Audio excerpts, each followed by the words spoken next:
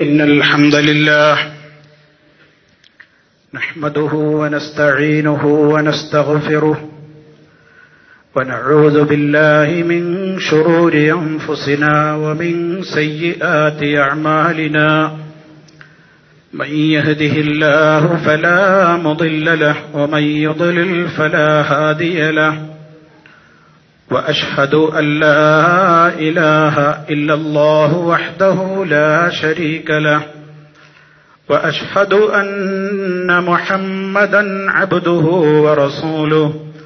اللهم صل على محمد وعلى آل محمد كما صليت على إبراهيم وعلى آل إبراهيم إنك حميد مجيد. يا أيها الذين آمنوا اتقوا الله حق تقاته ولا تموتن إلا وأنتم مسلمون. أما بعد فإن خير الكلام كلام الله وخير الهدي هدي محمد صلى الله عليه وسلم. وشر الأمور محدثاتها وكل محدثة بدعة وكل بدعة ضلالة. أعوذ بالله من الشيطان الرجيم. إنا نحن نحيي الموتى ونكتب ما قدموا وآثارهم. وكل شيء احصيناه في امام مبين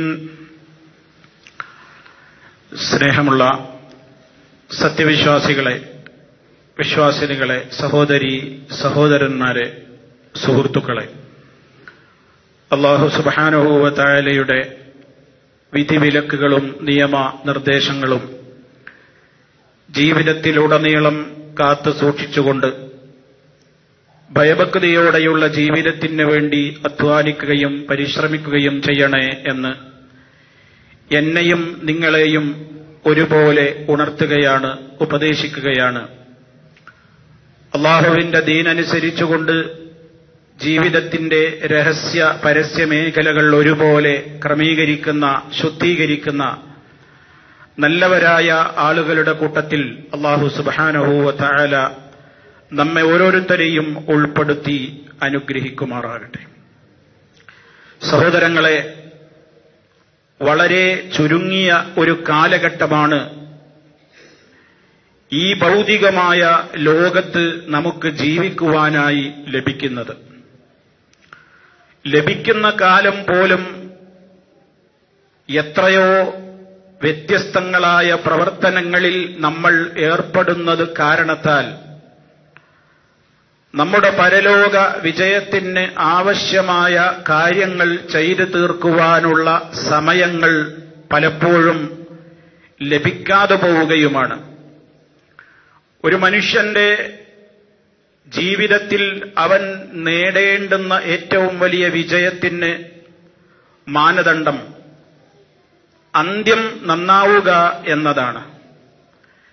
നല്ല ഒരു മരണം ഈ ലോകത്ത് വെച്ച് ലഭ്യമായി നല്ലവരോടൊപ്പം നാളെ മഹ്ഷറിൽ പരലോകത്ത് സ്വർഗം പങ്കിടുവാൻ തൗഫീഖ് ലഭിക്കുക എന്നുള്ളതാണ് ഏറ്റവും മഹത്തായ സൗഭാഗ്യം. ആ സൗഭാഗ്യത്തിന് വേണ്ടി ആഗ്രഹിക്കുന്നവരും പ്രാർത്ഥിക്കുന്നവരുമാണ് നാം എല്ലാവരും പക്ഷേ ഇസ്ലാമിൽ ഏതൊരു കാര്യത്തിനും ആഗ്രഹം കൊണ്ടോ പ്രാർത്ഥന കൊണ്ടോ കാര്യമില്ല. അതിന് അനുയോജ്യമായ നിലക്കുള്ള പ്രവർത്തനങ്ങളും അധ്വാനങ്ങളും കൂടി നമ്മുടെ ഭാഗത്ത് നിന്ന് ഉണ്ടായിത്തീരേണ്ടതുണ്ട്. മരണാനന്തരം അള്ളാഹുവിന്റെ കോടതിയിൽ വിചാരണയ്ക്ക് വേണ്ടി പോയി നിൽക്കുന്ന വേളയിൽ നമ്മുടെ ഓരോരുത്തരുടെയും ഹൈർ ആയ പ്രവർത്തനങ്ങളും ഷെറായ പ്രവർത്തനങ്ങളും വളരെ കൃത്യമായി അവിടെ വെളിവാക്കപ്പെടുന്ന ദിവസമാണ്. പരലോകത്ത് എല്ലാം പരസ്യമായിരിക്കും. പരിശുദ്ധ ഖുർആാനിൽ നമ്മയെല്ലാം അള്ളാഹു ഓർമ്മപ്പെടുത്തിയതാണ് യൗമ തുബില സറായിർ രഹസ്യങ്ങളെല്ലാം വെളിച്ചത്ത് കൊണ്ടുവരപ്പെടുന്ന ദിവസം എന്ന്. പരലോകത്ത് രഹസ്യം എന്ന ഒന്നില്ല. എല്ലാം അവിടെ പരസ്യമാണ്. നമ്മുടെ പ്രവർത്തനങ്ങൾ അഖിലവും അവിടെ ഒരു സ്ക്രീനിൽ കാണുന്നത് പോലെ നമുക്ക് പ്രദർശിപ്പിക്കപ്പെടുകയാണ്. യൗമഇദിൻ തുഴറദൂന ലാ തഹ്ഫാമിങ്കും ഖാഫിയ. ഒന്നും അവിടെ അവ്യക്തമാവില്ല. എല്ലാം അവിടെ പ്രദർശിപ്പിക്കപ്പെടും. യൗമ തജിദു കുല്ലു നഫ്സിൻ മാ അമിലത്ത് മിൻ ഖൈരിൻ മുഹ്തറ ഒമാ അമിലത്ത് മിൻ സൂഇൻ എന്ന് അള്ളാഹു സൂറത്ത് ആൽ ഇമ്രാനിലൂടെ പഠിപ്പിക്കുന്നുണ്ട്. യൗമ തജിദു കുല്ലു നഫ്സിൻ മാ അമിലത്ത് മിൻ ഖൈരിൻ മുഹ്തറ. എല്ലാ ഓരോ ദേഹവും ആ ദേഹം എന്തൊക്കെയാണോ ഹൈർ പ്രവർത്തിച്ചതെങ്കിൽ അതവിടെ വളരെ കൃത്യമായി കാണിക്കപ്പെടും. അവന് കാണാൻ സാധിക്കും. അതുപോലെ തന്നെ സൂയിൻ ഏതൊക്കെ സൂകൾ അഥവാ തിന്മകൾ പ്രവർത്തിച്ചിട്ടുണ്ടോ അതും നാളെ പരലോകത്ത് കാണുക തന്നെ ചെയ്യും. നമുക്കെല്ലാം സുപരിചിതമായ വിശുദ്ധ ഖുർആാനിൽ പറയുന്ന മറ്റൊരായത്താണല്ലോ. ആരെങ്കിലും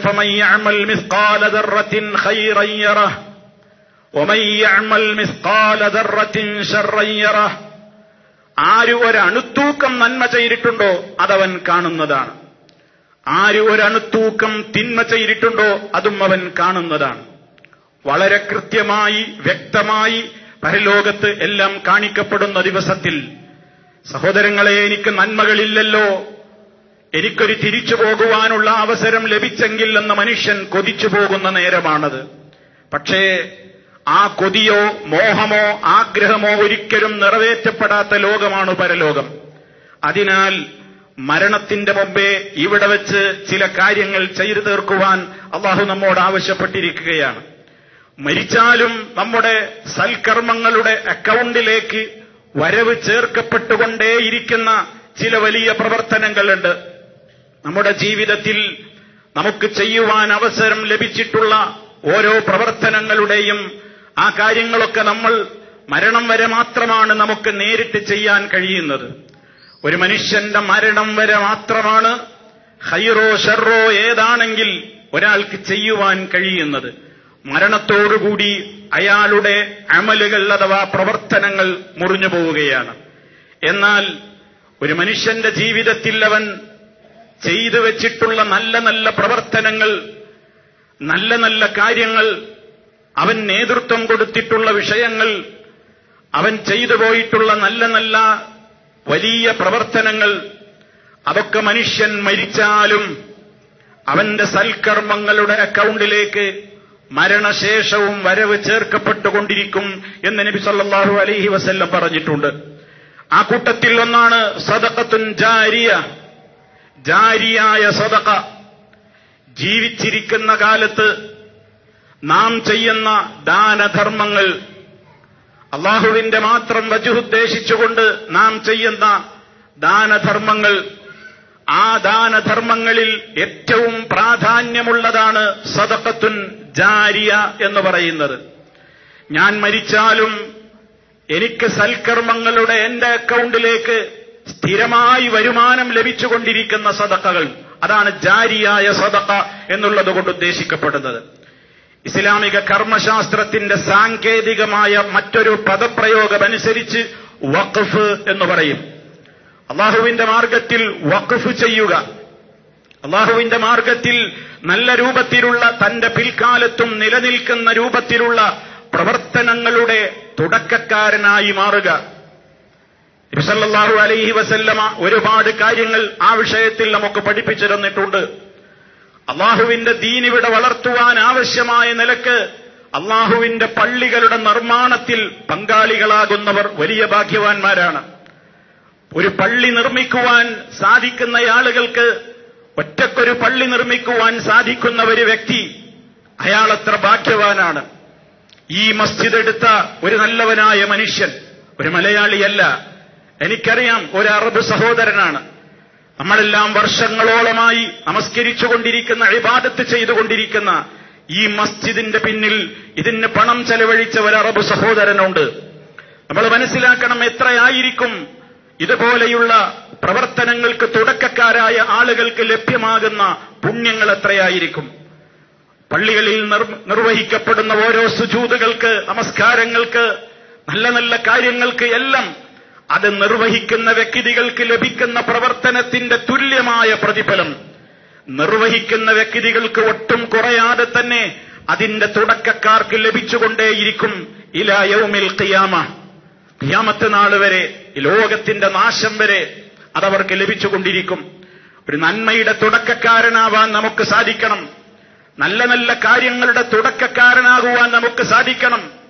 അതേ അവസരത്തിൽ ഒരു തിന്മയുടെ സ്ഥാപനത്തിന് തുടക്കം കുറിച്ചവർ തെറ്റായ കാര്യങ്ങൾക്ക് തുടക്കം കുറിച്ചവർ തിന്മകൾക്ക് വേണ്ടി പണം ചെലവഴിച്ചവർ അവർ മരിച്ചാലും അവരുടെ മരണശേഷവും ആ ഹറാമിന്റെ കുറ്റം അവരുടെ ലഭിച്ചുകൊണ്ടേയിരിക്കും ഇലാ യൗമിൽ ഖിയാമ.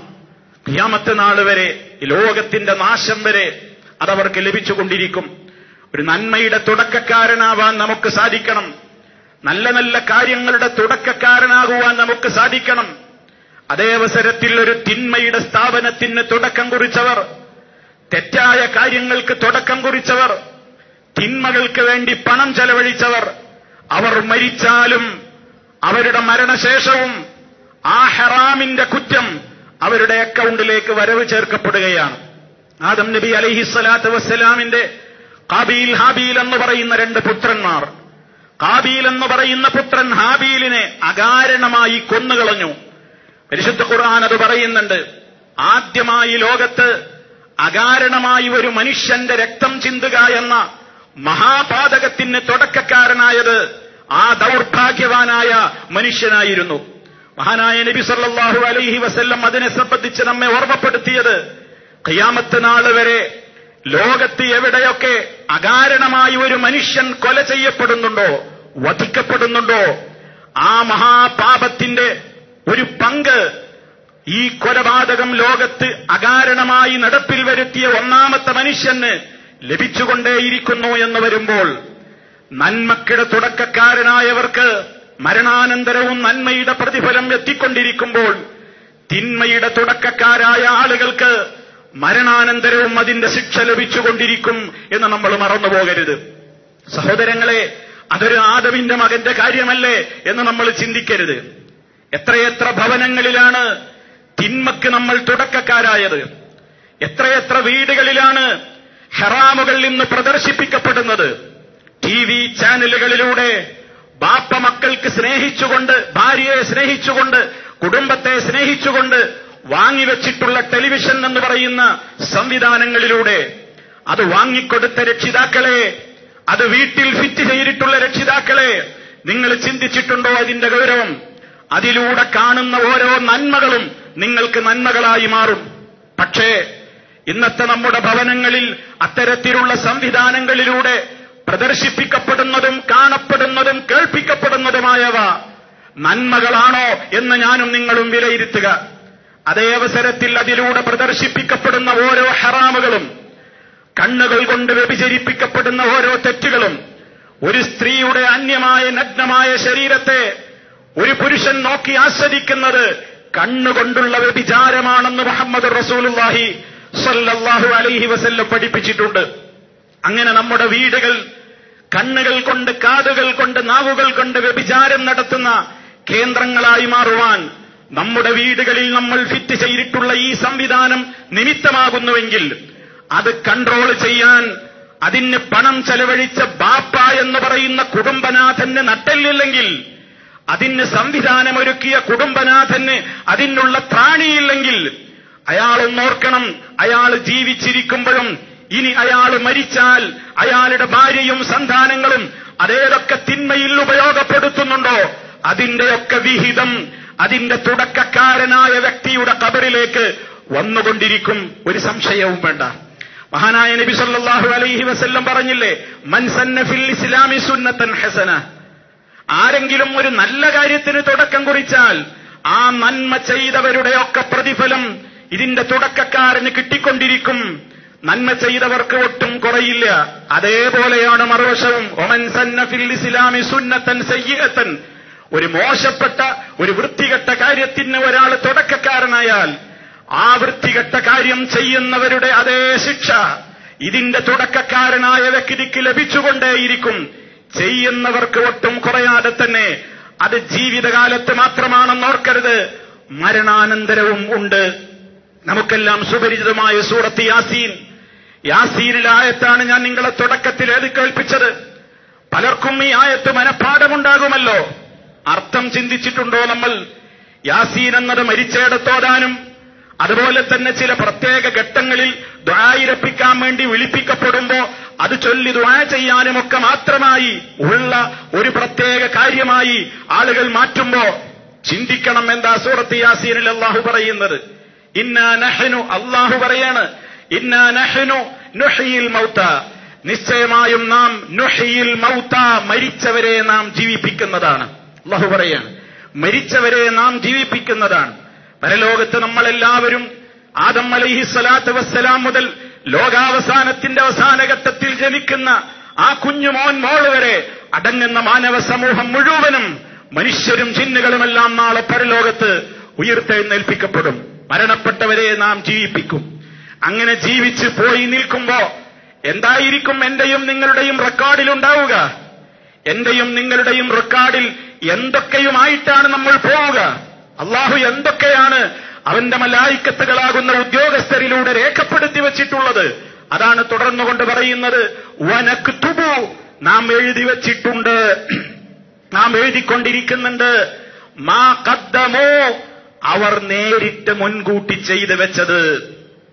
മാ കദ്ദമോ എന്ന് പറഞ്ഞാൽ മരിക്കുന്നതിന്റെ മുമ്പ് ഞാനും നിങ്ങളും നേരിട്ട് ചെയ്ത പ്രവർത്തനങ്ങളാണ് മാ കദ്ദമോ തനിക്ക് വേണ്ടി മുൻകൂട്ടി ചെയ്തത്. നമ്മുടെ നിസ്കാരം നമ്മുടെ നോമ്പ് നമ്മുടെ സക്കാത്ത് നമ്മുടെ ഹജ്ജ് നമ്മുടെ സൽക്കർമ്മങ്ങൾ നമ്മുടെ തിന്മകൾ എല്ലാം നമ്മൾ നേരിട്ട് ഇടപെട്ട ഏതൊക്കെ കാര്യങ്ങളുണ്ടോ അതൊക്കെ ആ രേഖയിലുണ്ട്. തീർന്നില്ല. അടുത്ത വാചകം ശ്രദ്ധിക്കുക. വആസാറഹും വആസാറഹും അതും നാം രേഖപ്പെടുത്തിയിട്ടുണ്ട്. എന്താണ് ആസാറ്? എന്താണ് ആസാറ്? ഞാനും നിങ്ങളും ജീവിച്ചിരിക്കുമ്പോ ഞാനും നിങ്ങളും കാരണമായിട്ട് ഈ ലോകത്തുണ്ടായ നന്മകളാണെങ്കിൽ നന്മകൾ തിന്മകളാണെങ്കിൽ തിന്മകൾ അതും കൂടി നാം രേഖപ്പെടുത്തിയിട്ടുണ്ട്. അതാണ് ഞാൻ നേരത്തെ പറഞ്ഞത്. നമ്മൾ നേരിട്ട് ചെയ്ത ആ പ്രവർത്തനങ്ങൾ മരിക്കുന്നതോടുകൂടാണ് തീരുന്നില്ല. അതിന്റെ ഫലങ്ങൾ ഇവിടെ എന്തൊക്കെ ബാക്കിയാകുന്നുണ്ട്? അതാണ് സ്വതക്കത്തുൻ ജാരിയ എന്ന് നബി അലൈഹി വസല്ലം ഒന്ന് പറഞ്ഞത്. ജാരിയായ സ്വതക്കകൾ വഖഫുകൾ പള്ളികൾ മദ്രസകൾ അനാഥശാലകൾ പാവപ്പെട്ട ആളുകൾക്കുള്ള താമസിക്കുവാനുള്ള സംവിധാനങ്ങൾ വീടുകൾ മറ്റു സംവിധാനങ്ങൾ ഏതെല്ലാം വഖഫുകൾ നമ്മുടെ മരണശേഷവും നിലനിൽക്കുന്നു. അതുകൊണ്ട് ജനങ്ങൾക്ക് ഉപകാരം കിട്ടുന്നു. അത്തരത്തിലുള്ള വഖഫ് സ്വത്തുക്കൾ അത്തരത്തിലുള്ള ധർമ്മങ്ങൾ നമ്മുടെ പരലോകത്തേക്ക് മരണാനന്തരവും ലഭിച്ചുകൊണ്ടിരിക്കുന്നവയാണ്. രണ്ടാമത് പറഞ്ഞത് ഉപകാരം ഉപകാരപ്രദമായ അറിവ്. എന്റെയും നിങ്ങളുടെയും ജീവിതത്തിൽ നമ്മൾ പഠിച്ചിട്ടുള്ള അറിവുണ്ടല്ലോ. ആ പഠിച്ച അറിവ് എനിക്കും നിങ്ങൾക്കും മനസ്സിൽ സൂക്ഷിക്കുവാനുള്ളതല്ല. പഠിച്ച അറിവ് അറിഞ്ഞിട്ടില്ലാത്തവരിലേക്ക് പകർന്നു കൊടുക്കുന്നത് വലിയ പുണ്യമാണ്. മന്ദല്ല അലാഹൈരിൻ ഫലഹു അജുറു മിസ്ലു ഫാഇലിഹി. നബി സല്ലല്ലാഹു അലൈഹി വസല്ലം പറഞ്ഞു ആരെങ്കിലും ഒരു നല്ല കാര്യത്തിലേക്ക് വഴി കാണിച്ചു കൊടുത്താൽ ഒരു സൽക്കാര്യത്തിലേക്ക് വഴികാട്ടിയായാൽ അത് പ്രവർത്തിച്ചവനെ പോലത്തെ പ്രതിഫലം ഈ വ്യക്തിക്കുമുണ്ട്. ഒന്നാമത് പറഞ്ഞ കാര്യത്തോട് ബന്ധമുള്ള കാര്യമാണ് ഈ കാര്യം. നമുക്കറിയാവുന്ന കാര്യങ്ങൾ. നിങ്ങളൊരു കാര്യം പഠിച്ചാൽ അത് പഠിച്ചിട്ടില്ലാത്ത ആളുകളോട് പറഞ്ഞു മനസ്സിലാക്കി കൊടുത്താൽ ആ നിലയ്ക്ക് അവരെ വളർത്തിയുണ്ടാക്കിയാൽ അവരിലേക്ക് ആ സന്ദേശം കൈമാറിയാൽ പ്രിയമുള്ളവരെ നമ്മൾ മരണപ്പെട്ടു കഴിഞ്ഞാലും നാം ഈ ലോകത്ത് പകർന്നു കൊടുത്തിട്ടുള്ള അറിവ് ആ അറിവനുസരിച്ച് ആരൊക്കെ പ്രവർത്തിക്കുന്നുണ്ടോ ആ പ്രവർത്തിക്കുന്നവരുടെയൊക്കെ പ്രതിഫലം നമ്മുടെ അക്കൗണ്ടിലേക്ക് വന്നുകൊണ്ടേയിരിക്കും. ഇത് വിശദീകരിക്കുമ്പോൾ പണ്ഡിതന്മാർ പറഞ്ഞു രക്ഷിതാക്കളെ നിങ്ങൾ മനസ്സിലാക്കണം നിങ്ങൾക്കൊരു കുഞ്ഞ് വളർന്നു വരുമ്പോ ആ കുട്ടിക്ക് സൂറത്തുൽ ഫാത്തിഹ ആദ്യം പഠിപ്പിക്കുവാൻ ഉമ്മയും ഉപ്പയുമാണ് തയ്യാറാവേണ്ടത് എന്ന്. ഉമ്മയും ഉപ്പയുമാണ് ഒരു ഉസ്താദിനേക്കാളും ആദ്യമായി ഒരു കുട്ടിക്ക് സൂറത്തുൽ ഫാത്തിഹ പകർന്നു കൊടുക്കുന്നതെങ്കിൽ പണ്ഡിതന്മാർ വിശദീകരിക്കുകയാണ് ഈ മാതാപിതാക്കൾ മരണപ്പെട്ടു കഴിഞ്ഞാലും ഈ കുട്ടിയുടെ മരണം വരെ ഈ കുട്ടി എത്രായിരം തവണയാണ് നിസ്കാരത്തിലും അല്ലാതെയുമൊക്കെയായി ഫാത്തിഹ ഓതുക. ആ സൂറത്തുൽ ഫാത്തിഹ ആ കുട്ടി പാരായണം ചെയ്യുമ്പോഴൊക്കെ അതിന്റെ ഓരോ അക്ഷരത്തിനുമുള്ള പ്രതിഫലം ആ ചൊല്ലുന്ന കുട്ടിക്ക് ലഭിക്കുന്നതിന്റെ പുറമെ അതിന്റെ കാരണക്കാരനായ അത് തനിക്ക് ജീവിതത്തിൽ ആദ്യമായി പകർന്നു തന്ന തന്റെ ഉപ്പയുടെ ഉമ്മയുടെ അക്കൗണ്ടിലേക്ക് വരവ് വെക്കപ്പെടും എന്നുള്ളത് ഏറ്റവും വലിയ മഹത്വമുള്ള ഒരു കാര്യമാണ്. നന്മയുടെ നന്മയുടെ അറിവിന്റെ പ്രചാരകരായി നമ്മൾ മാറേണ്ടതുണ്ട്. ഒരാളിലേക്ക് നമ്മൾ ഒരു പ്രഭാഷണത്തെ ഫോർവേഡ് ചെയ്തു കൊടുത്ത് അയാളെ അത് കേൾപ്പിക്കുകയാണ്. ഒരു നല്ല ആദർശം ഒരാൾക്ക് പഠിപ്പിച്ചു കൊടുക്കുകയാണ്. അയാൾ അത് കേട്ട് നന്നാവുകയാണ്. തിന്മയിൽ നിന്ന് മാറി ജീവിക്കുകയാണ്. നന്മയുടെ മാർഗത്തിൽ അയാൾ മുന്നോട്ട് പോവുകയാണ്. ആ മനുഷ്യൻ ചെയ്യുന്ന പ്രവർത്തനങ്ങൾക്കൊക്കെയുള്ള ഒരു നല്ല പ്രതിഫലം. ആ നന്മക്ക് അവർക്കൊട്ടും കുറയാതെ തന്നെ നമുക്കും കിട്ടുമെന്ന് വന്നാൽ നന്മയായ അറിവിന്റെ പ്രചാരകരായി മാറാതിരിക്കാൻ നമുക്കെങ്ങനെ സാധിക്കും? എത്ര വലിയ ബിഗ് ഓഫറാണ് എത്ര വമ്പിച്ച ആനുകൂല്യമാണ് സർവശക്തനായ കാരുണ്യവാനായ റബ്ബ് മരിച്ചാലും മുറിയാത്ത സ്ഥിര വരുമാനം എന്ന നിലയ്ക്ക് എനിക്കും നിങ്ങൾക്കും പഠിപ്പിച്ചു തന്നിട്ടുള്ളത് മൂന്നാമത്തെ കാര്യം വലതുൻ സാലിഹുന്യതുഴൂലഹു തനിക്ക് വേണ്ടി പ്രാർത്ഥിക്കുന്ന ഒരു മകനെ ഒരു മകളെ ഈ ഭൂമിയിൽ ബാക്കിയാക്കി പോകാൻ സാധിക്കുക എന്നുള്ളതാണ്. നമ്മൾ മരിച്ചാലും വരുമാനമാർഗം സ്ഥിരമായി നമ്മളൊക്കെ ആലോചിക്കുന്നവരാണ്. ഒരു സ്ഥിര വരുമാനത്തിനൊരു മാർഗം വേണമെന്നും പലരും അവരുടേതായ ജീവിതത്തിന്റെ കാര്യങ്ങൾ ചർച്ച ചെയ്യുമ്പോ ആലോചിക്കാറുണ്ട് ഒരു സ്ഥിര വരുമാനത്തിനൊരു മാർഗം എനിക്കില്ലല്ലോ. ഒരു ബിൽഡിംഗ് ഉണ്ടായെങ്കിൽ വാടക കൊടുക്കുന്ന ഒരു ഷോപ്പ് ഉണ്ടായെങ്കിൽ ഒരു ഷോപ്പിംഗ് കോംപ്ലക്സ് ഉണ്ടായെങ്കിൽ ഒരു വാഹനമുണ്ടായെങ്കിൽ ക്വാർട്ടേഴ്സ് ഉണ്ടായെങ്കിൽ മറ്റ് സംവിധാനങ്ങൾ ഉണ്ടായെങ്കിൽ ഏതെങ്കിലും ഒരു ബിസിനസ് രൂപത്തിലുള്ള കാര്യത്തിൽ ഷെയർ ചേരാൻ എനിക്ക് സാധിച്ചിരുന്നെങ്കിൽ എനിക്ക് സ്ഥിര വരുമാനം കിട്ടുമായിരുന്നു. കാലമാണ് ഈ സ്ഥിരവരുമാനം എത്ര കാലമാണ് നമുക്ക് കിട്ടുന്ന ഈ വരുമാനം? അതേ അവസരത്തിൽ നമ്മൾ മരിച്ചാലും മരണാനന്തരവും ഒരാളും നമുക്ക് വേണ്ടി അതേ ഒന്നും ചെയ്തില്ലെങ്കിൽ പോലും നമ്മൾ ഇവിടെ കൊളുത്തിവെച്ചിട്ടുള്ള നന്മയുടെ ദീപങ്ങൾ പ്രകാശത്തിന്റെ കിരണങ്ങൾ ആരൊക്കെ ഉൾക്കൊണ്ടുകൊണ്ട് ജീവിക്കുന്നുണ്ടോ അതിന്റെയൊക്കെ പ്രതിഫലം നമുക്ക് ലഭിക്കും. പ്രത്യേകിച്ച് നമ്മുടെ മക്കൾ. നമ്മുടെ മക്കൾ നമുക്ക് വേണ്ടി അള്ളാഹുവിലേക്ക് കരങ്ങൾ ഉയർത്തിയാൽ ആ ദുആ അള്ളാഹു സുബാനഹുവത്താല സ്വീകരിക്കാതിരിക്കുകയില്ല. നല്ലവരായ ഒരു മകനോ മകളോ നമുക്കിവിടെ ബാക്കിയാക്കുവാൻ സാധിച്ചാൽ അതാണ് ഏറ്റവും വലിയ പ്രത്യേകത. മറ്റുള്ളവരുടെയൊക്കെ പ്രാർത്ഥനയേക്കാൾ സ്വാലിഹായ ഒരു മകൻ ഒരു മകൾ നമുക്ക് വേണ്ടി നമ്മുടെ മരണാനന്തരവും പ്രാർത്ഥിക്കാനുണ്ടായാൽ എന്റെ റബ്ബെ എന്റെ മാതാപിതാക്കൾക്ക് നീ കരുണ ചെയ്യണേ റബ്ബെ. ഖമാ റബ്ബയാനീ സഗീറ. ഞാൻ കുഞ്ഞായിരിക്കെ അവർ ഇരുവരും എന്നെ പരിപാലിച്ച് വളർത്തിയതുപോലെ ആ പരിപാലനത്തിന് പകരം കൊടുക്കാൻ നമുക്കാർക്കും കഴിയില്ല. ഉമ്മയും ഉപ്പയുമൊക്കെ നമ്മെ ഏത് രൂപത്തിലായിരുന്നു വളർത്തിയത്? എത്രയാണ് അവർ കഷ്ടപ്പെട്ടത് എന്നറിയാറുള്ളത് പലപ്പോഴും നമുക്ക് മക്കളാകുമ്പോഴാണ്. നമുക്ക് മക്കളാകുമ്പോഴാണ്. നമുക്ക് പേരക്കുട്ടികളാകുമ്പോഴാണ് ആ കുഞ്ഞിനോട് കാണിക്കുന്ന സ്നേഹവും ആ കുഞ്ഞിനോട് കാണിക്കുന്ന വാത്സല്യവും എത്രയാണ് നമുക്ക് നമ്മുടെ മക്കളോട് നമ്മൾ കാണിക്കുന്നത്? നമ്മുടെ പേരമക്കളോട് നമ്മൾ കാണിക്കുന്നത്. അതിലൂടെ നമ്മൾ ചിന്തിക്കണം. ഞാൻ കൈക്കുഞ്ഞായിരുന്ന കാലത്ത് കൈകാലുകളിട്ടടിക്കാനും കരയാനുമല്ലാതെ മറ്റൊന്നിനും കഴിയാതിരുന്ന ഒരു കാലത്ത് എന്റെ പൊന്നുപ്പയും എന്റെ പൊന്നുമ്മയും ഇതുപോലെ വളർത്തി വലുതാക്കിയ ഒരു മനുഷ്യനാണ് ഞാൻ. എന്ന ചിന്ത നമ്മുടെ മനസ്സിലുണ്ടാകുമ്പോ ആ കാലഘട്ടത്തിൽ അവർ സഹിച്ച ത്യാഗത്തിന്റെ നില നമ്മൾ കൊടുക്കുന്ന റിയാലുകൾക്കും ദൃഹമുകൾക്കും രൂപകൾക്കും ഡോളറുകൾക്ക് ഡോളറുകൾക്കും ഉണ്ടാവില്ല. അതിനേക്കാളപ്പുറമാണ് അവർക്ക് വേണ്ടത്. മരണാനന്തരം അവർക്ക് വേണ്ടി ഇവർ ജീവിച്ചിരിക്കുന്നവരാണെങ്കിൽ അവരുടെ ആശയത്തിനും നല്ലവര് മരണം കിട്ടാനും അവരുടെ ജീവിതത്തിൽ സൂക്ഷ്മതയുണ്ടാകുവാനുമൊക്കെ പ്രാർത്ഥിച്ചുകൊണ്ടേയിരിക്കണം. മരണപ്പെട്ടു പോയ മാതാപിതാക്കളാണെങ്കിൽ അവർക്ക് വേണ്ടി നിരന്തരം പ്രാർത്ഥിച്ചുകൊണ്ടിരിക്കണം. റബ്ബിഗ്ഫിർലി വലിവാലിദയ്യ എന്ന് പറയാത്ത ഒരു പകലോ ഒരു രാത്രിയോ നമ്മുടെ ജീവിതത്തിൽ കടന്നു പോകാൻ പാടില്ല. റബ്ബിഗ്ഫിർലി റബ്ബേ നീ എനിക്ക് പുറത്തു തരണം. ഒരു വാലിതയ്യ എന്റെ മാതാപിതാക്കൾക്ക് നീ പുറത്തു കൊടുക്കണം. ഒത്തുപാലയിന നീ ഞങ്ങളുടെ പശ്ചാത്താപം സ്വീകരിക്കണം. എന്നിങ്ങനെ അള്ളാഹുവിനോട് മനസ്സ് തട്ടിക്കൊണ്ട് പ്രാർത്ഥിക്കുന്ന ഒരു മകനോ മകളോ ഉണ്ടായാൽ ഒരു മനുഷ്യന് മരിച്ചു പോകുമ്പോൾ അതൊരു വലിയ സന്തോഷമാണ്. മഹാന്മാരായ പ്രവാചകന്മാര് വരെ ആ കാര്യത്തിൽ വളരെ ശ്രദ്ധാലുക്കളായിരുന്നു. നിങ്ങൾക്കറിയില്ലേ ചരിത്രം വിശുദ്ധ ഖുർആൻ? നാം ഏവരും ഇപ്പോ ആഘോഷിച്ചു കഴിഞ്ഞ ബലിപെരുന്നാൾ.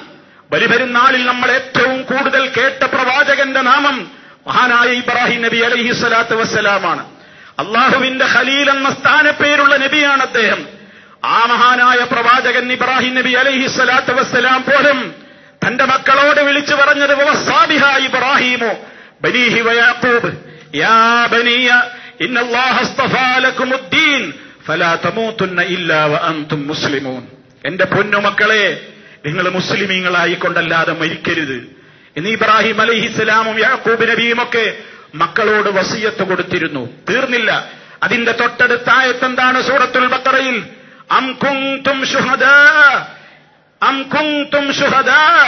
ഇത് ഹദറ യഅഖൂബൽ മൗത്തു ഇത് ഖാല ലിബനീഹി ما تعبدون من بعدي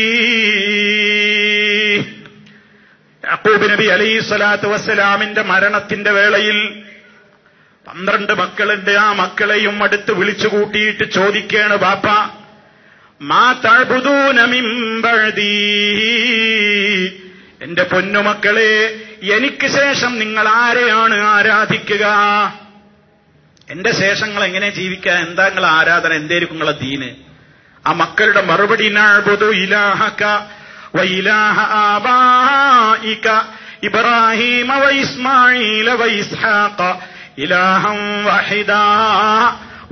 ലഹു മുസ്ലിമൂൻ.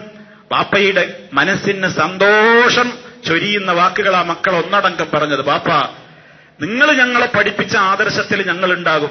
നിങ്ങളും നമ്മളെ വാപ്പപ്പാപ്പമാർ ഇബ്രാഹിം ഇസ്മായിൽ ഇസ്ഹാബ് അലിഹി മുസ്സലാം ഇവരൊക്കെ നടന്ന ആ വഴിയിൽ ഞങ്ങൾ ഉണ്ടാകും ആപ്പ ഒരിക്കലും വിഷമിക്കണ്ട. ഞങ്ങൾ അള്ളാഹുവിന് വളരെ കൃത്യമായി കീഴ്പ്പെട്ട് ജീവിക്കുന്ന യഥാർത്ഥ മുസ്ലിമീങ്ങളായി ഞങ്ങൾ ഉണ്ടാകും എന്ന മക്കൾ ബാപ്പയോട് പറയണം. ആലോചിക്കണം. ആലോചിക്കണം. യാക്കൂബ് നബി അലഹിസ്സലാമിനും ഇബ്രാഹിം നബിക്കൊക്കെ മരിച്ചു പോണ നേരത്ത് എന്റെ മക്കൾ ഇനി എങ്ങനെ ജീവിക്ക എന്ന് പേടിയില്ല. അവരുടെ സാമ്പത്തികം ആര് നോക്കും?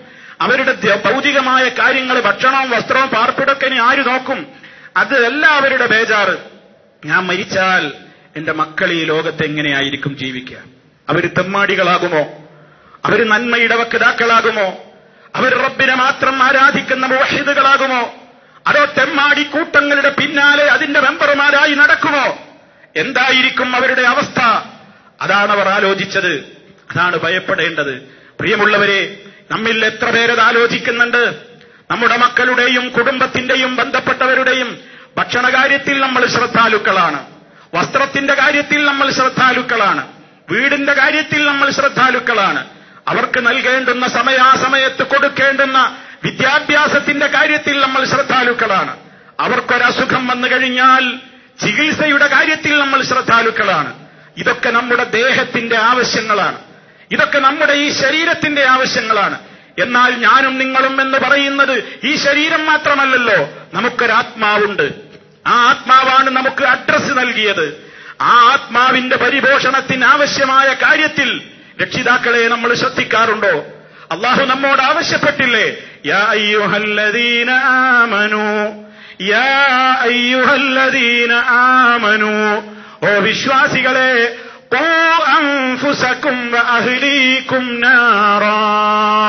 നിങ്ങൾ നിങ്ങളുടെ ശരീരങ്ങളെയും നിങ്ങളുടെ ഭാര്യ മക്കൾ അടങ്ങുന്ന കുടുംബക്കാരുടെ ശരീരങ്ങളെയും നിങ്ങൾ കാത്തു രക്ഷിക്കണം. നാറൻ നരകത്തിയിൽ നിന്ന് രക്ഷിക്കണം.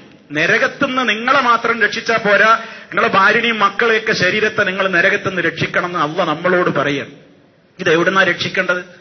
എവിടുന്നാണ് പ്രിയമുള്ളവരെ നമ്മൾ അവരെ നരകത്തിയിൽ നിന്ന് രക്ഷിക്കേണ്ടത്?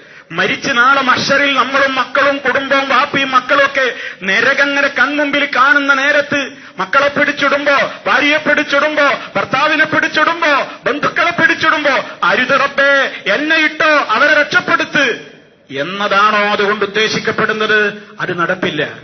അത് നടക്കൂല. അത് നടക്കൂല. വിശുദ്ധ ഖുർആൻ കൃത്യമായി പറഞ്ഞതാണ് അത് നടക്കൂല. അതേ അവസരത്തിൽ ദുന്യാവിൽ വെച്ചാണ് രക്ഷപ്പെടുത്തേണ്ടത്. ദുന്യാവെന്നാണ് നമ്മൾ രക്ഷപ്പെടുത്തേണ്ടത്. നിങ്ങളെയും നിങ്ങളുടെ മക്കളെയും കുടുംബത്തെയും കത്തിയാളുന്ന നരകത്തിയിൽ നിന്ന് നിങ്ങൾ രക്ഷിക്കണേ എന്ന കൽപ്പന നമ്മൾ ഓരോരുത്തരും മരിച്ചു പോകുന്നതിന്റെ മുമ്പ് നമുക്ക് ഇവിടെ വെച്ച് ചെയ്യാനുള്ളതാണ്. അതുകൊണ്ട് നമുക്ക് വേണ്ടി പ്രാർത്ഥിക്കുന്ന നല്ലവരായ സന്താനങ്ങൾ ഉണ്ടാകണമെങ്കിൽ നമ്മുടെ സന്താനങ്ങൾക്ക് മതബോധം വേണം. മതബോധം വേണം. അള്ളാനെ അറിയുന്ന മക്കളാവണം. അള്ളാഹുവിനെ പേടിയുള്ള മക്കളാവണം. അവർ ഏത് വിദ്യാഭ്യാസത്തിന്റെ മേഖലയിലും ഏത് രാജ്യത്ത് എവിടെ പ്രവർത്തിക്കുന്നവരാണെങ്കിലും പടച്ചവൻ അള്ളാഹു എന്നെ കാണുന്നുണ്ട് കേൾക്കുന്നുണ്ട് അറിയുന്നുണ്ട് എന്ന ബോധമുള്ള മക്കളായി മാറണം. ആരാണ് ഉപ്പ ഉമ്മ എന്ന ബോധമുള്ള കടമകളെക്കുറിച്ച് ബോധമുള്ള മക്കളായി വളരേണ്ടതുണ്ട്. അതിനവർക്ക് അടിത്തട്ടിലെ വിദ്യാഭ്യാസം നൽകണം. ഇന്ന് നമ്മുടെ അവസ്ഥ എന്താണ്? നമ്മുടെ മദ്രസ നമ്മുടെ മദ്രസ വിദ്യാഭ്യാസത്തിന്റെ അവസ്ഥ എന്താണ്? ഒന്നോ രണ്ടോ മൂന്നോ ക്ലാസ്സുകളിലായി കഴിഞ്ഞാൽ എല്ലാ രക്ഷിതാക്കളും വിചാരിക്കുന്നത് ആയി എന്റെ മകന് വേണ്ടതൊക്കെ കിട്ടി എന്റെ മകൾക്ക് വേണ്ടതൊക്കെ കിട്ടി എന്നാണ്. ഏറിയാൽ ഒരു അഞ്ചാം ക്ലാസ് വരെ. അഞ്ചാം ക്ലാസ് കഴിഞ്ഞാൽ കുട്ടികളില്ല. ആറും ഏഴും എട്ടും ഒമ്പതും പത്തും സെക്കൻഡറി തലത്തിലുമൊക്കെ മതം പഠിക്കുന്ന വിദ്യാർത്ഥികൾ മദ്രസ സംവിധാനങ്ങളിൽ കുട്ടികളുടെ കണക്കെടുത്ത് നോക്ക്. ഒന്നാം ക്ലാസ്സിൽ നാൽപ്പതും അമ്പതും അറുപതും കുട്ടികളുള്ളപ്പോ ഏഴാം ക്ലാസ്സിലും എട്ടാം ക്ലാസ്സിലും ഒമ്പതാം ക്ലാസ്സിലുമൊക്കെ സീറോയും ഒന്നും രണ്ടുമൊക്കെയാണ് കുട്ടികളുടെ അംഗസംഖ്യ എന്ന് നമ്മൾ മനസ്സിലാക്കണം. ആരാണ് ഇതിന്റെ പിന്നിൽ പ്രവർത്തിക്കേണ്ടത്? ഒരു വിദ്യാർത്ഥിക്ക് ഒരു മകന് ഒരു മകൾക്ക് പടച്ചവനെ പേടി ഏറ്റവും ആവശ്യം ഏത് പ്രായത്തിലാണ്? ഞാനും നിങ്ങൾ നമ്മുടെയും ഒക്കെ മക്കൾ എന്റെയും നിങ്ങളുടെയും ഒക്കെ മക്കൾ മദ്രസയോട് വിട പറയുന്ന കാലത്തല്ല. അവർക്ക് പടച്ചവനെ പേടി കൂടുതൽ ആവശ്യം. മദ്രസയോട് വിട പറയുന്ന കാലം കഴിഞ്ഞതിന്റെ ശേഷമാണ്. അതാണ് ടീനേജ് എന്ന് പറയുന്നത്. ടീനേജ് എന്ന് പറഞ്ഞാൽ എന്താ? ഒരു ട്വൽവ് കഴിഞ്ഞാൽ പിന്നെ ഇംഗ്ലീഷിൽ നമ്മൾ പ്രായം വന്ന് തേർട്ടീൻ ഫോർട്ടീൻ ഇങ്ങനെ നയന്റീൻ പതിമൂന്ന് മുതൽ പത്തൊമ്പത് വരെയുള്ള പ്രായം. അതാണ് ടീൻ ടീൻ എന്ന് അവസാനിക്കുന്ന ടീനേജ് ആ ഏജിലുള്ള കാലത്താണ് ചെകുത്താൻ ഏറ്റവും നമ്മുടെ മക്കൾ വേട്ടയാടുന്നത്. നമ്മുടെ മക്കൾക്ക് നമ്മൾ വാങ്ങിക്കൊടുത്ത മൊബൈലുകൾ സംവിധാനങ്ങൾ പടച്ചവനെ പേടിയില്ലാതെ അവരത് ഉപയോഗപ്പെടുത്തുകയാണ്. പുതപ്പിനുള്ളിൽ കിടന്നിട്ട് പോലും അവിഹിതമായ ബന്ധങ്ങളും അവിഹിതമായ സംസാരങ്ങളും നടത്തുകയാണ്. അന്യ പെണ്ണുമായിക്കൊണ്ട് ദീർഘനേരം സംസാരിക്കുകയാണ്. മോശപ്പെട്ട കാഴ്ചകൾ കണ്ടുകൊണ്ടിരിക്കുകയാണ് കേട്ടുകൊണ്ടിരിക്കുകയാണ്. അവന് ഖുർആൻ ഓതാൻ താല്പര്യമില്ല അവന് ജമായത്തിന് വരാൻ താൽപര്യമില്ല അവന് ദിക്കറുകൾ ചൊല്ലാൻ താൽപര്യമില്ല അവൻ ഉപ്പയോ ഉമ്മയോ ഉപദേശിച്ചാൽ പോടാ പോടി എന്ന് പറയാൻ മാത്രം വികൃതമായ മനസ്സിന്റെ ഉടമകളായി മാറി. ആരാണ് തെറ്റുകാർ? ആരാണ് തെറ്റുകാർ? അവിടെയാണ് നമ്മൾ ചിന്തിക്കേണ്ടത്. നമുക്ക് വേണ്ടി ഇവരൊക്കെ പ്രാർത്ഥിക്കുമോ? നമ്മൾ മരിച്ചു കഴിഞ്ഞാലും നമ്മുടെ കബറിന്റെ ഭാഗത്തേക്കൊന്ന് തിരിഞ്ഞു നോക്കുമോ? എന്റെ ഉപ്പ എന്റെ ഉമ്മ എന്ന് ഓർക്കുമ്പോ വാലിദയ്യ എനിക്കും എന്റെ മാതാപിതാക്കൾക്കും പൊറുക്കണേയല്ല എന്ന് പറയാൻ മാത്രമുള്ള ഒരു തക്കവയുള്ള മക്കളായി ഇവിടെ ബാക്കിയാക്കുവാൻ നമ്മൾ എന്താണ് ചെയ്തത്? ആലോചിക്കണം. അതുകൊണ്ട് മദ്രസാ വിദ്യാഭ്യാസത്തിന്റെ കാര്യത്തിൽ സ്കൂൾ വിദ്യാഭ്യാസ മദ്രസ വിദ്യാഭ്യാസത്തിന്റെ കാര്യത്തിൽ സ്കൂൾ വിദ്യാഭ്യാസത്തിന് നൽകുന്ന പ്രാധാന്യം രക്ഷിതാക്കൾക്കില്ല. ഞാൻ സൂചിപ്പിക്കട്ടെ ഇവിടെ ഞാൻ കണക്ക് ചോദിച്ചു ഏഴാം ക്ലാസ്സിൽ ഇവിടെ ഒരു കുട്ടി പോലുമില്ല. ആറ് ക്ലാസ് മദ്രസ കഴിഞ്ഞപ്പോ ഏഴാം തരത്തിൽ ഈ മദ്രസയിൽ ഒരു കുട്ടി പോലുമില്ല എന്നാണ് ഞാൻ കേട്ടത്. വലിയ സങ്കടം തോന്നുന്നു. പ്രിയമുള്ളവരെ ആറാം ക്ലാസ് കഴിഞ്ഞതോടുകൂടി ദീൻ അവസാനിച്ചോ? അപ്പോഴല്ലേ വാസ്തവത്തിൽ പതിമൂന്ന് വയസ്സിലേക്ക് കിടക്കുന്നത്? അല്ലെങ്കിൽ പതിനാലും പതിനഞ്ചിലേക്കൊക്കെ പോകുന്നത് വാസ്തവത്തിൽ എവിടേക്കാണ് നമ്മുടെ തലമുറ പോയിക്കൊണ്ടിരിക്കുന്നത്? അതുകൊണ്ട് നിങ്ങളുടെ മക്കളെ ഈ ശബ്ദം ശ്രവിക്കുന്ന ഈ പള്ളിയുടെയും പരിസരത്തുമുള്ള ആളുകളോട് ഞാൻ പറയുകയാണ്.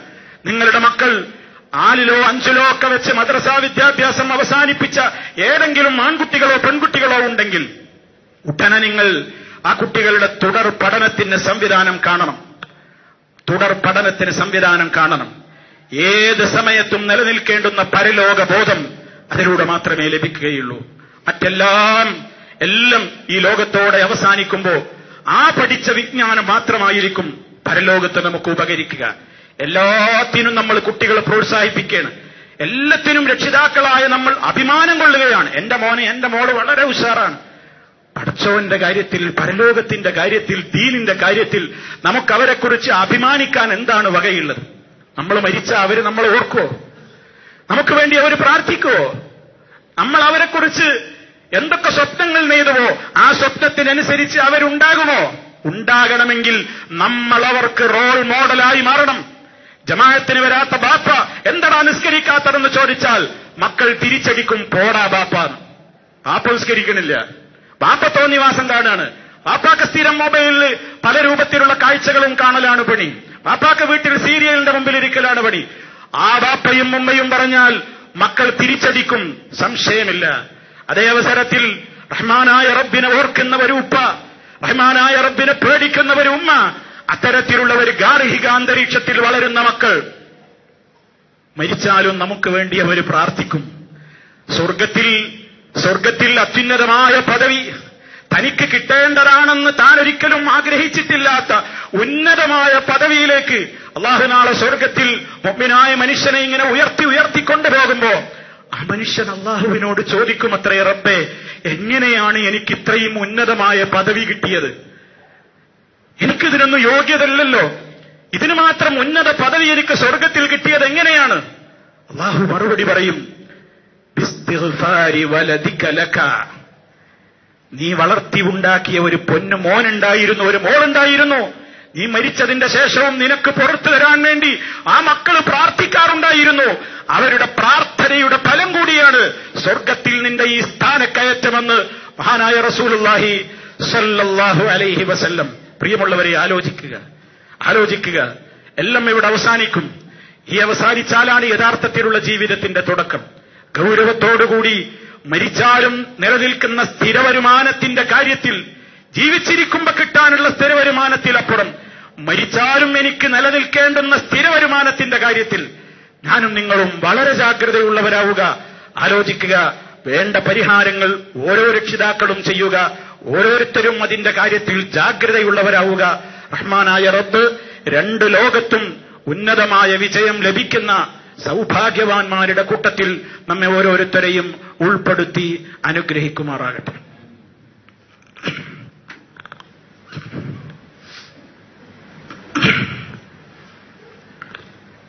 الحمد لله والصلاة والسلام على رسول الله وعلى آله وصحبه أجمعين أما بعد فاتقوا الله عباد الله അള്ളാഹുവിനെ സൂക്ഷിച്ച് ജീവിക്കണേ ഒരിക്കൽ കൂടി എന്നെയും നിങ്ങളെയും ഉണർത്തുകയാണ്. തക്കവയുള്ള ഒരു ജീവിതം അള്ളാഹു സുബാനഹുവ താല നമുക്ക് ഓരോരുത്തർക്കും നൽകി നമ്മെ അനുഗ്രഹിക്കുമാറാകട്ടെ. സഹോദരങ്ങളെ ഒരു മൂന്ന് നാലാഴ്ച മുമ്പ് ഞാനും നിങ്ങളൊക്കെ ഓർക്കുന്നുണ്ടാകും. അസാമിലെയും ബീഹാറിലെയും പ്രളയക്കെടുതികളിൽപ്പെട്ട പാവങ്ങളെ സഹായിക്കുവാൻ ഈ മിമ്പറിൽ നീയുള്ളവൻ പറഞ്ഞു നിങ്ങളൊക്കെ സഹായിച്ചു. അന്ന് പ്രളയം കേരളത്തിൽ ഉണ്ടായിട്ടില്ല ഈ വർഷം. പക്ഷേ ആ പ്രളയത്തിന്റെ കലക്ഷൻ അന്യ സംസ്ഥാനത്തിലെ ആളുകൾക്ക് വേണ്ടി നമ്മൾ എടുത്ത് അധികം താമസിയാതെ നമ്മുടെ നാടിനെയും അത് ബാധിച്ചു. ഇന്നതിന്റെ വ്യാപ്തിയും അതിന്റെ അപകടങ്ങളും എത്രത്തോളമാണെന്ന് ഞാൻ പറയേണ്ടതില്ല. ഒരു നാടൊന്നാകെയാണ് ഇല്ലാതായിരിക്കുന്നത്. ഒരു രാജ്യം ഒന്നാകെയാണ് നശിച്ചിരിക്കുന്നത്. അവിടെ അങ്ങനെ ഒരു കൂട്ടർ താമസിച്ചിരുന്നു എന്ന് പോലും തോന്നില്ല അവിടം പോയി കണ്ടാൽ. വയനാടിലും നിലമ്പൂരിലെയും അവസ്ഥയതാണ് പലയിടങ്ങളിലും വീടുകളിൽ വെള്ളം കയറി ശക്തമായ നിലയ്ക്ക് ഭവനങ്ങളെല്ലാം നഷ്ടപ്പെട്ടവരുണ്ട്. ജീവൻ പോയ ഒരുപാട് ആളുകളുണ്ട്. ധാരാളക്കണക്കിന് മയ്യത്തുകൾ ഇപ്പോഴും മണ്ണിനടിയിലാണ്. കിട്ടിയിട്ട് പോലുമില്ല. കിട്ടിയിട്ട് പോലുമില്ല. ഇപ്പോഴും തെരച്ചിൽ ശക്തമാണ്. കോടികളുടെ നഷ്ടങ്ങളാണ്. നഷ്ടത്തിന്റെ കണക്കുകൾ എടുത്തു വരുന്നേയുള്ളൂ ഓരോ ജില്ലകളിലും. ഭക്ഷണം വേണം വസ്ത്രം വേണം പാർപ്പിട സൗകര്യം വേണം ഗൃഹോപകരണങ്ങൾ വേണം വീട്ടുപകരണങ്ങൾ വേണം പായ വേണം സംവിധാനങ്ങൾ വേണം ബെഡ്ഷീറ്റ് വേണം ബെഡ് വേണം ഒന്നുമില്ല. ഉടുത്ത വസ്ത്രവുമായിക്കൊണ്ട് ഉറക്കത്തിൽ നിന്ന് എഴുന്നേറ്റ് ആരൊക്കെയോ ശബ്ദം കൂട്ടുന്നത് കേട്ടപ്പോ ഇറങ്ങി വീട്ടിൽ നിന്ന് ഓടിയതാണ് ആയിരക്കണക്കിന് ആളുകൾ നമ്മുടെ കേരളത്തിൽ. നമ്മൾ ആലോചിക്കണം. നഷ്ടത്തിന്റെ കണക്കുകൾ കണക്കാക്കപ്പെട്ടിട്ടില്ല. മനസ്സറിഞ്ഞ് സഹായിക്കണം. മനസ്സറിഞ്ഞ് സഹായിക്കണം. ഈ ശബ്ദം ശ്രവിക്കുന്ന ഓരോരുത്തരുടെയും വരുമാനങ്ങൾ വ്യത്യസ്തമായിരിക്കും. ഒരു രണ്ട് ദിവസത്തെ വരുമാനമെങ്കിലും ഈ ഒരു മാർഗത്തിലേക്ക് പ്രിയമുള്ളവരെ നമ്മൾ നീക്കിവെക്കേണ്ടതുണ്ട് എന്നാലും തീരില്ല. എന്നാലും തീരില്ല. നമ്മൾ ആലോചിക്കണം ആ സ്ഥാനത്ത് നമ്മൾ നമ്മെ കാണണം. അപ്പോഴേ നമുക്കതിന്റെ ഗൗരവം മനസ്സിലാവും. നമ്മളൊക്കെ വീടില്ലേ? നമ്മളൊക്കെ താമസിക്കുന്നു സുഖമായി. നമ്മൾ ആലോചിക്കുക ആ സ്ഥാനത്ത് നമ്മെ കാണ് ആരെങ്കിലും ഒന്ന് എന്നെ സഹായിച്ചെങ്കിൽ എന്ന് ഞാൻ ആഗ്രഹിക്കും. പക്ഷേ എന്റെ അഭിമാനം കൊണ്ട് ഒരാളുടെയും മുമ്പിൽ ഇന്നവരെ കൈനീട്ടിയിട്ടുണ്ടാവില്ല ഞാൻ. അതുകൊണ്ട് ഞാൻ ഒരാളോട് സഹായം ചോദിക്കില്ല. പക്ഷേ കണ്ടറിഞ്ഞ് സഹായിക്കേണ്ട നേരമാണിത്. കണ്ടറിഞ്ഞ് സഹായിക്കേണ്ട നേരമാണ്. പ്രളയത്തിന്റെ ദുരന്തത്തിൽ അകപ്പെട്ടിട്ടുള്ള ഈ പാവങ്ങളെ സഹായിക്കുന്നതിന് പത്ത് കോടി രൂപയുടെ ഒരു പദ്ധതിയാണ് വിസ്ഡം ഇസ്ലാമിക് ഓർഗനൈസേഷൻ പ്രഖ്യാപിച്ചിട്ടുള്ളത്. അത് കലക്ട് ചെയ്യണം. നിങ്ങളുടെ നിസ്സീമമായ സഹകരണം ആവശ്യമാണ്. എത്രയാണോ നിങ്ങൾക്ക് കഴിയുക എങ്കിൽ ഇന്ന് നിങ്ങൾ നൽകണം. വരും ദിവസങ്ങളിൽ ബാക്കിയുള്ള തുക നൽകണം. ഓരോരുത്തരുടെയും രണ്ട് ദിവസത്തെ വരുമാനം. ഇത് നമുക്ക് കബറിൽ തുടയായിരിക്കും. ഒരു സംശയവും വേണ്ട. ഇതുപോലെയുള്ള ആപത്തുകളിൽ നിന്ന് നമ്മെ അള്ളാഹു കാത്തു രക്ഷിക്കുമാറാകട്ടെ. കഴിഞ്ഞ വർഷം ആപത്ത് ബാധിച്ച മേഖലകളിലല്ല ഇപ്രാവശ്യം ആപത്ത് ബാധിച്ചത്. ഇപ്പോൾ സുരക്ഷിതരായിരിക്കുന്ന ആളുകളുടെ മേഖലയിലേക്കായിരിക്കുമോ? വരും കാലത്ത് ഇത് വരിക. അള്ളാഹുവാലം അള്ളാഹു നമ്മെ കാത്ത് രക്ഷിക്കുമാറാകട്ടെ. പക്ഷേ ബലായ ബലായ പരീക്ഷണങ്ങളെയും ദുരിതങ്ങളെ ദുരിത ദുരന്തങ്ങളെയുമൊക്കെ തടുത്തു നിർത്താൻ മാത്രം കേൾപ്പുള്ളതാണ് നമ്മൾ നൽകുന്ന സതക്കകൾ ദാനധർമ്മങ്ങൾ എന്ന് നമ്മൾ മനസ്സിലാക്കുക. അതുകൊണ്ട് ഈ ഒരാഴ്ച നമ്മൾ ഈ പള്ളിയിൽ ആ ഒരൊറ്റ പദ്ധതിക്ക് വേണ്ടിയാണ് കളക്ഷൻ എടുക്കുന്നത്. ഞങ്ങളെല്ലാവരും മനസ്സറിഞ്ഞ് സഹായിക്കണം എന്നീ അവസരത്തിൽ ഓർമ്മപ്പെടുത്തുകയാണ്. സഹോദരങ്ങളെ മറ്റൊരു പാഠം കൂടി ഇതിലൂടെ നമ്മൾ മനസ്സിലാക്കണം. നഷ്ടത്തിന്റെ കണക്കുകൾ മരിച്ചുപോയ ആളുകൾക്ക് പ്രശ്നമല്ല അവർ മരിച്ചുപോയി. പ്രശ്നമല്ല എന്ന് പറയുമ്പോൾ നമ്മൾ നിസ്സാരമാക്കരുത്. അവിടെയും ചില പാഠങ്ങളുണ്ട്. ആ മരണപ്പെട്ടു പോയ ആളുകളൊക്കെ ഇന്ന് ഞാൻ മരിക്കും. നാളെ പുലർച്ചെ ഞാൻ വെളിച്ചം കാണില്ല എന്ന് സ്വപ്നേബി വിചാരിച്ചവരല്ല. അങ്ങനെയാണ് മരണം. ആ മരണപ്പെട്ട ആളുകളൊക്കെ അവരുടെ അമലുകളുമായി പോയി. സൽക്കർമ്മമാണെങ്കിൽ സൽക്കർമ്മം ദുഷ്കർമ്മമാണെങ്കിൽ ദുഷ്കർമ്മം. അവരുടെ അമലുകളുമായി അവരവരുടെ ലോകത്തേക്ക് യാത്രയായി. എന്നാൽ ജീവിച്ചിരിക്കുന്ന നമുക്ക് ചില പാഠങ്ങളുണ്ട്. ജീവിച്ചിരിക്കുന്നവരുടെ നഷ്ടത്തിന്റെ കണക്കുകൾ ശേഖരിച്ചുകൊണ്ട് നമ്മൾ അവർക്ക് വേണ്ടി സഹായം എത്തിക്കാൻ ശ്രമിക്കുന്നുണ്ട്. ഭക്ഷണം വസ്ത്രം പാർപ്പിടം സൗകര്യം ചികിത്സകൾ മറ്റൊക്കെ എത്തിക്കാൻ ആയിരങ്ങൾ കൈമൈ മറന്നുകൊണ്ട് ഒറ്റക്കെട്ടായി പ്രവർത്തിക്കുന്നുണ്ട്. പക്ഷേ അതിലും ഒരു പാഠമുണ്ട്. എന്താ പാഠം എന്നറിയോ ഈ ലോകത്ത് ബാധിക്കുന്ന നഷ്ടങ്ങളുടെ കണക്കുകളും ഈ ലോകത്ത് ബാധിക്കുന്ന നഷ്ടങ്ങളും ഈ ലോകത്ത് ബാധിക്കുന്ന ദുരന്തങ്ങൾക്കുമൊക്കെ ഓടിയെത്തി നമ്മെ സഹായിക്കുവാൻ ഇവിടെ ആയിരങ്ങളുണ്ടാകും. പക്ഷേ നഷ്ടങ്ങൾ മാത്രം കാണുന്ന ലോകത്ത് പരലോകത്തെത്തുമ്പോ ആ നഷ്ടത്തിന്റെ കണക്ക് കണ്ട് നമ്മെ സഹായിക്കുവാൻ ഓടിയെത്താൻ നമ്മുടെ ബാപ്പയോ ഉമ്മയോ മക്കൾ പോലും ഉണ്ടാവില്ല. നമ്മൾ തിരിച്ചറിയണം. ഈ ലോകത്ത് നമുക്കൊരു കഷ്ടപ്പാട് വന്ന നമ്മെ സഹായിക്കാൻ ആളുകളുണ്ട്. മരണാനന്തരം ഖബറിൽ നമ്മുടെ നഷ്ടത്തിന്റെ നേരത്തെ സഹായിക്കാൻ ആരുണ്ട്? മഷറിൽ ആരുണ്ട്? ബാപ്പയോട് മക്കൾ കെഞ്ചി നോക്കും ബാപ്പ നോക്കുവോ ബാപ്പ പറയണ മോനെ നിങ്ങളെ പോറ്റാനായി ബാപ്പ ഒരുപാട് ഹറാമ് ചെയ്തത്. എടാ ബാപ്പയെ നരകത്തിലിടേണ് നീ എന്നെ രക്ഷിക്കുമോ? ബാപ്പ പറയുമ്പോ മക്കൾ തിരിഞ്ഞു നോക്കോ. ഭർത്താവ് പറയാണ് ഭാര്യയോട് പെണ്ണെ നിനക്ക് വേണ്ടിയാണ് പല ഹറാമും ഞാൻ ചെയ്തത്. ഭാര്യ പറയാണ് ഭർത്താവിനോട് നിങ്ങൾക്ക് വേണ്ടിയാണ് ഒരുപാട് തെറ്റുകൾ ഞാൻ ചെയ്തത്. അല്ല വെറുത്തിട്ടുള്ള കാര്യമായിരുന്നിട്ടും. എന്നൊക്കെ പറയുമ്പോ ആരെങ്കിലും തിരിഞ്ഞു നോക്കുവോ? ഇല്ല. യൗമയ